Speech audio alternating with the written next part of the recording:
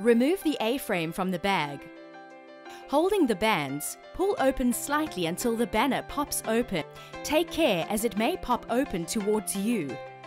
Open up the A-frame completely and fasten the stays on each side. Always stake it to the ground using the pegs provided. If used outdoors, you can place sand or weights in the inside pockets to weigh it down. Remove all pegs and weights.